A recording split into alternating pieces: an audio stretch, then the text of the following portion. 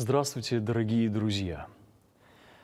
Однажды один известный артист пригласил служителя, скромного христианина к себе на юбилей, на день рождения.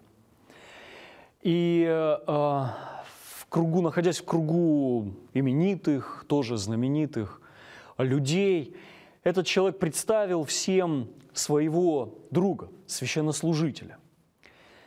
И добавил при этом, что его всегда удивляло, удивлял 22-й псалом, что он его очень любит, что он его знает на память. И он решил продекламировать 22-й псалом перед своими гостями. Вот он встал в красивую позу и начал читать «Господь пастырь мой» и так далее. Э, после окончания его декламации все зааплодировали, потому что это было блестяще. Блестящий голос, прекрасные, ораторск, прекрасные ораторские э, навыки э, у этого артиста были. И, но он э, попросил, значит, аплодисменты утихнуть и, и сказал, а теперь я хочу, чтобы мой друг, священнослужитель, чтобы он прочитал тоже 22-й псалом. Этот человек открыл Библию и совершенно без особого какого-то изыска, но с каким-то особым чувством с другой стороны. Прочел 22-й псалом, и после его прочтения аплодисментов не было. Но было видно, что люди о чем-то высоком и глубоком задумались. «Да», — ответил на это э, актер, «я слышал о Боге, а мой друг его знает лично». 22-й псалом – действительно один из самых известных и э, популярных отрывков священного писания – где только его не цитируют, кто только его не читает. Давайте прочтем с вами и мы. Псалом Давида. «Господь – пастырь мой, я ни в чем не буду нуждаться. Он покоит меня на злачных пажитях и водит меня к водам тихим. Подкрепляет душу мою, направляет меня на дороги правды – ради имени своего. Если я пойду и долиной смертной тени, я не убоюсь зла, потому что ты со мной. Твой жезл, твой посох, они успокаивают меня. Ты приготовил предо мной трапезу прямо на виду у врагов моих, умоли, умастил елеем голову мою, моя чаша переполнена.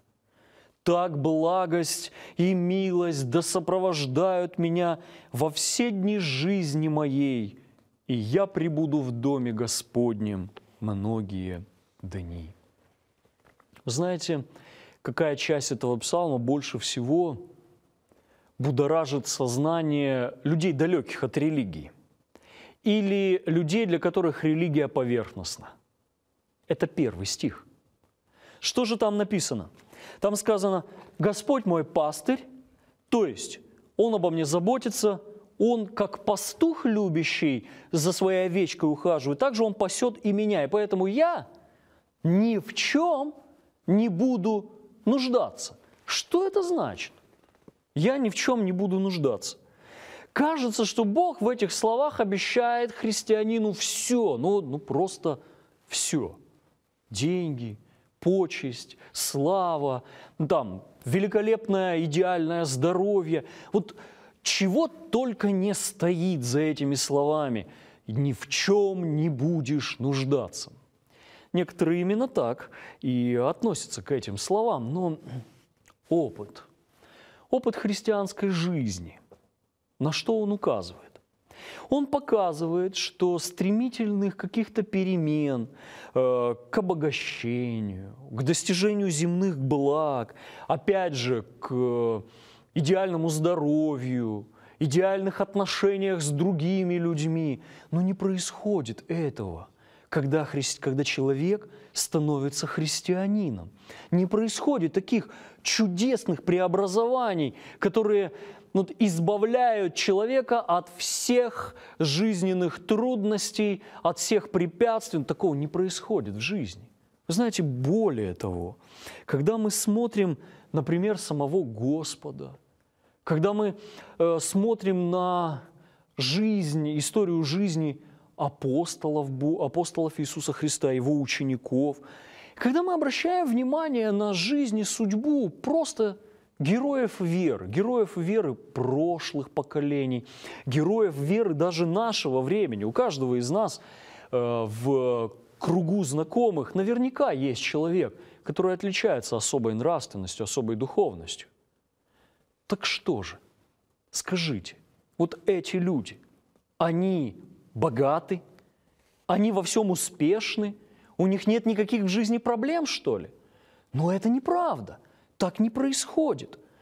Мы чтим многих людей как духовных наставников, как духовные такие ориентиры для себя, для кого-то другого.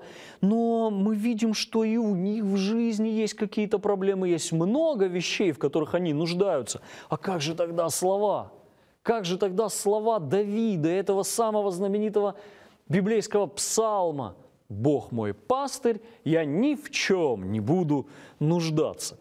Вот взять, например, историю Моисея. Моисей до момента, когда он посвятил свою жизнь Богу, когда он решил соединить свою судьбу с судьбой Божьего народа, был крайне успешен. Вот о ком точно можно сказать, что он ни в чем не будет нуждаться. Ну, вы сами подумайте. Во-первых, его спасла от гибели, когда он еще был младенцем, которого хотели убить по приказу, э, по приказу фараона. Его спасла царская дочь. Вот повезло так повезло. Она дала деньги матери Моисея, чтобы там, чтобы та ни в чем не нуждалась чтобы она могла покупать молоко, чтобы она могла покупать хлеб. Она дала повеление, чтобы защищали этого ребенка, и никто уже к нему прикоснуться не имел права. Вот, действительно кажется, исполнение слов «Я дам тебе то, все, и ты ни в чем не будешь нуждаться». Но это было не от Бога. Это сделал человек, царская дочь.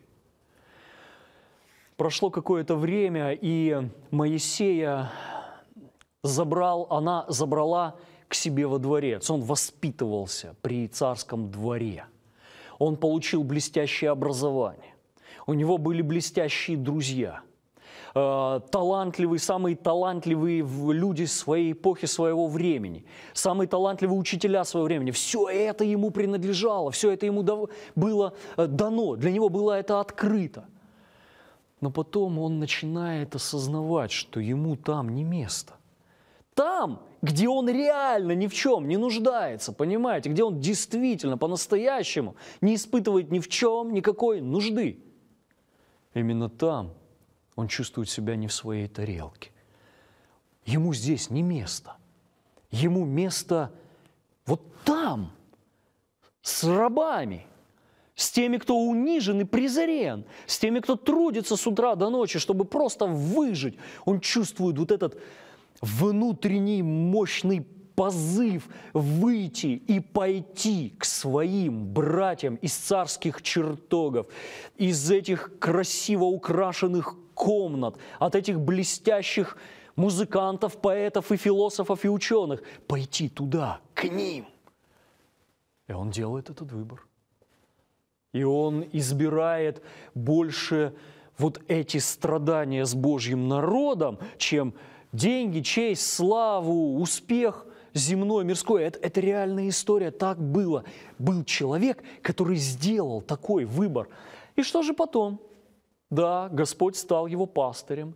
Он соединил свою жизнь с Богом, с Божьим народом. И он ни в чем больше отныне не нуждался. Нет, он до этого ни в чем не нуждался. А потом-то он во многом нуждался. Он 40 лет был скитальцем – учился пасти овец, никогда этого в жизни не делал, 40 лет этому учился. а потом, когда вернулся за израильтянами, увел их в, э, в хананскую землю и разделил с израильтянами их сорокалетнее странствование, сорокалетнее скитание. Никак не скажешь о нем, что после своего выбора он ни в чем не нуждался. Так как же понимать слова Давида «Господь мой пастырь, я ни в чем не буду нуждаться»? Может быть, люди, о которых я говорил, духовные ориентиры, э, великие э, люди, которые совершали великие духовные подвиги, а может быть, они просто жили так, что Господь не их пастырь. Может быть, пастырем, э, Бог был пастырем Моисея, когда он там жил у египтян во дворце. Может быть, так. Или, может быть, мы просто неправильно понимаем эти слова. И, наверное, последнее более правильно – Павел, апостол Павел, он однажды понял суть этих слов.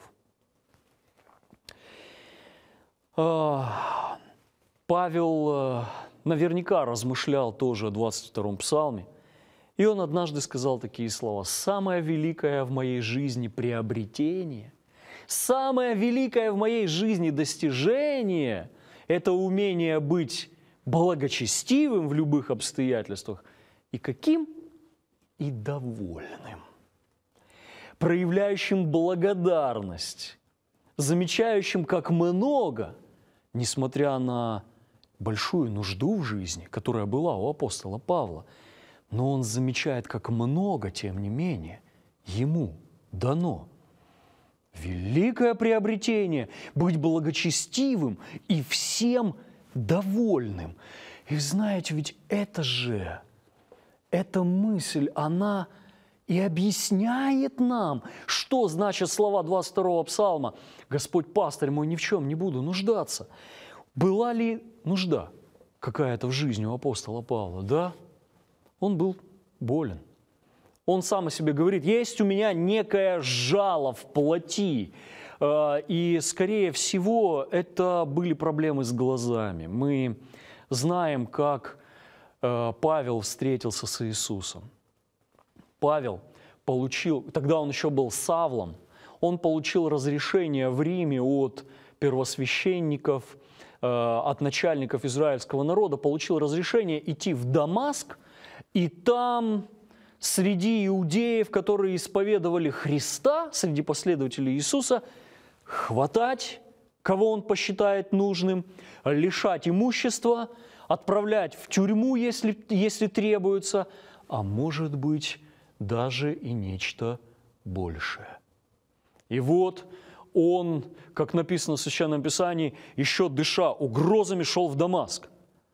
По дороге с апостолом будущим, апостолом Павлом, ныне Савлом пока еще, случилось то, что однажды случилось с израильтянами, когда Моисей вывел их, когда Моисей подвел их к Красному морю, перед израильтянами стояла неприступная вот эта водная гладь, которую не пройти, не переплыть, тем более со всем имуществом, которое они вынесли, а сзади наступали египтяне. Фараон одумался после того, как отпустил израильтян, он одумался и погнался за ними, чтобы их вернуть. И в это время Бог стал между египтянами и израильтянами. И для израильтян он был светом, он давал им свет. А для египтян, со стороны египтян наступающих, он был тьмой, густым облаком, через которое ничего не видно. И то же самое происходит с Павлом.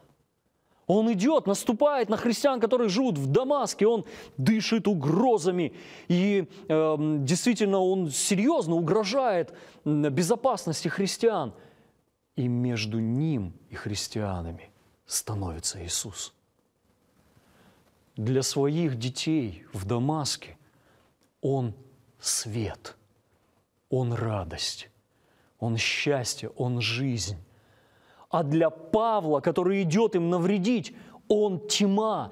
И Павел, э, помните эту историю, он слепнет на какое-то время. Его отвозят, отводят в Дамаск, и там Иисус посылает одного человека к Павлу. Этот человек возлагает на него свои руки, исцеляет его. Но кажется, что это проблема, проблема с глазами после вот этого происшедшего навсегда остается с Павлом. Неужели Бог так мог поступить с Павлом? Э, сам же наказал, сам исцелил, но не до конца. Да, чтобы Павел всегда помнил о том, как начинался его духовный путь. Чтобы апостол Павел навсегда сохранил вот это предостережение от отступления, чтобы он навсегда запомнил, что Иисус есть свет – для тех, кто следует за Ним, но Он есть и тьма для тех, кто сопротивляется Ему и желает навредить Его детям. Видно, апостолу Павла это было нужно. Э, в духовном значении это был важный для него урок. И он сохранил на всю жизнь этот урок. Каким образом? Тем, что у него были проблемы с глазами, он плохо видел. Итак, у апостола Павла была нужда – она действительно была. И он пишет, я много раз просил Бога, чтобы Бог удалил эту проблему из моей жизни. И вы знаете, что ему отвечает Бог? А Бог ему отвечает словами из 22-го псалма. И, может быть, вы сейчас вспоминаете и помните, что Бог ответил апостолу Павлу. Может быть, вы раньше никогда не думали, что это, эти слова взяты из 22-го псалма. Вот сейчас попробуйте это заметить. Бог отвечает Павлу, достаточно для тебя моей благодати. Еще пока что непонятно? А как можно по-другому сказать эти же самые слова, эту же самую фразу – у тебя всего достаточно. Ты больше ни в чем не нуждаешься. Господь пастырь мой, я ни в чем не буду нуждаться. Ни в чем не буду нуждаться даже тогда, когда очевидно есть у меня какие-то нужды, но благодати Божьей при этом довольно, ее достаточно. Все, в чем я нуждаюсь, в моей жизни есть. Все, в чем нуждался апостол Павел, присутствовало в его жизни. Если вы человек честный, трудолюбивый, верный, постоянный, живете по заповедям Божьим, храните веру в Него, и Он дает вам богатство, значит, это вам нужно. Но если при всем вашем благочестии он допускает определенные трудности и лишения, если он допускает даже порой тяжелые непростые испытания, внимательно оглядитесь вокруг.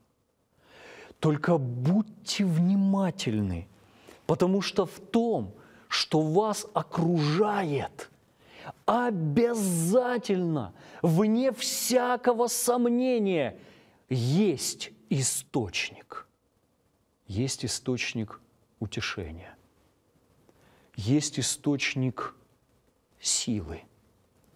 Есть источник, почерпнув, из которого источник предусмотренный не случайностью, предусмотренный не стечением обстоятельств, а предусмотренный самим Богом именно для вас, источник, из которого вы можете почерпнуть все, в чем вы нуждаетесь, чтобы это испытание вас не сломило и не привело к унынию.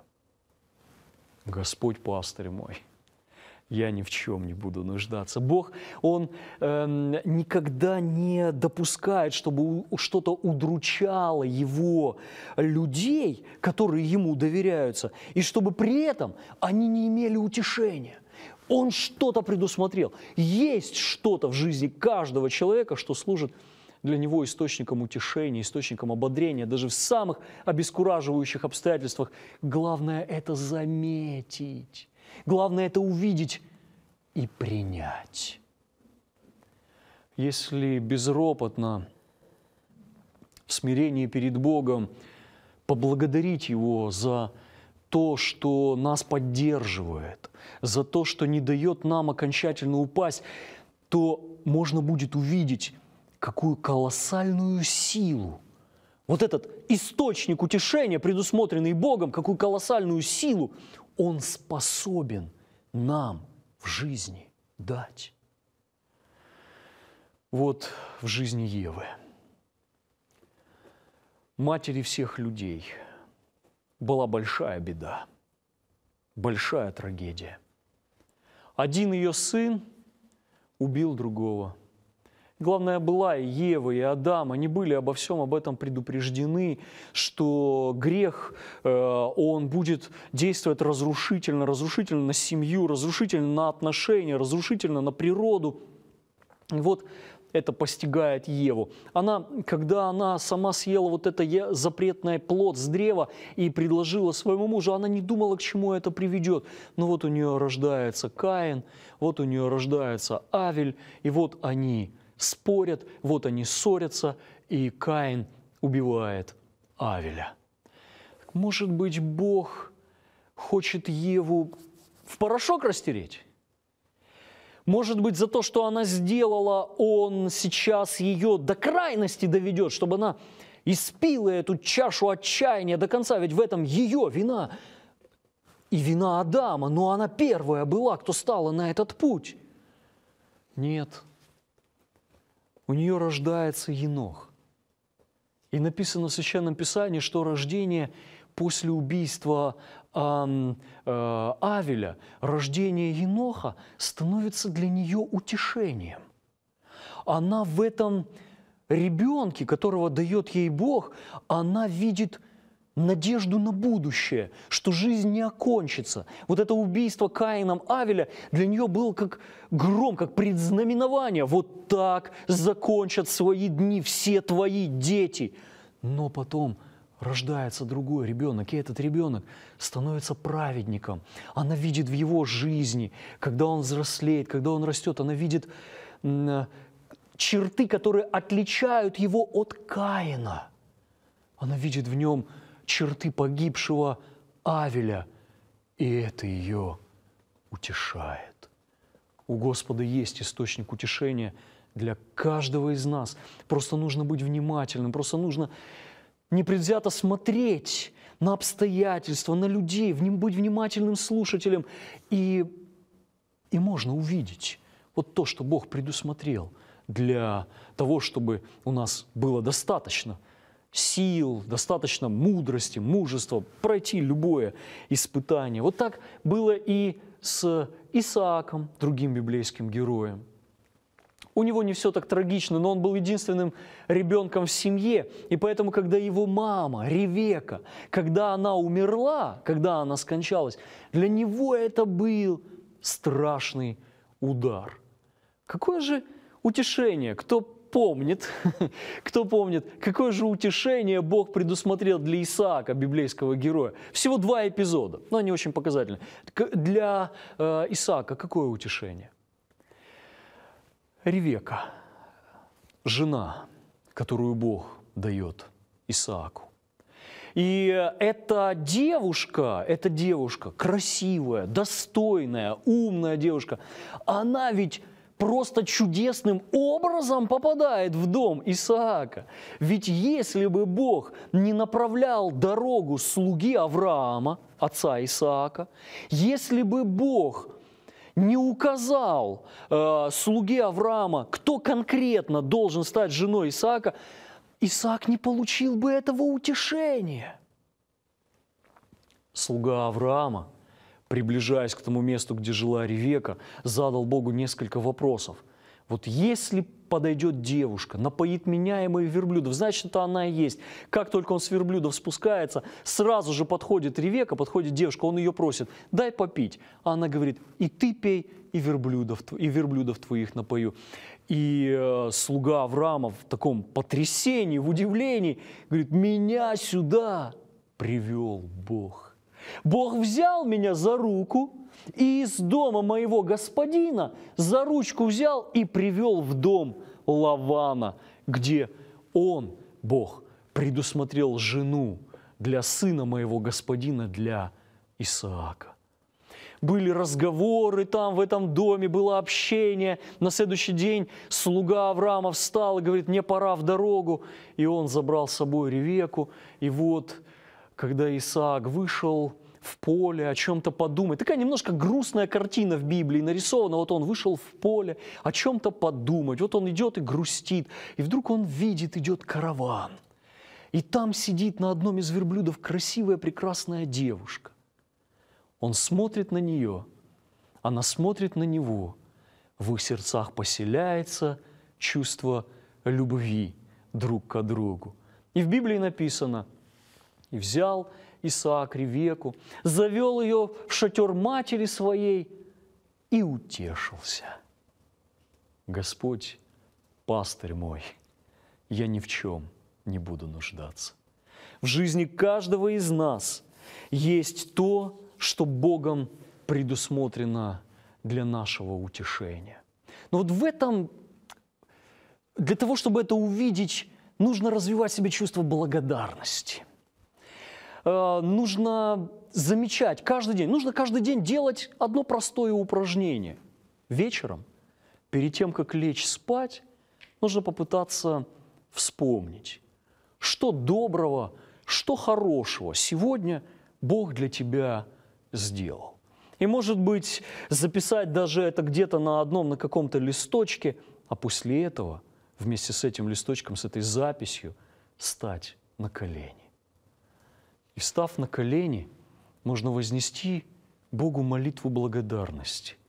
И если делать это каждый день, если каждый день в молитве благодарить Бога за то, что Он делает, и учиться замечать, а что же Он делает каждый день, то со временем будет все проще и проще видеть все то, что Бог предусмотрел для нашего утешения, для наших сил, для нашего счастья. Господь пастырь наш, ни в чем не будем нуждаться. thank you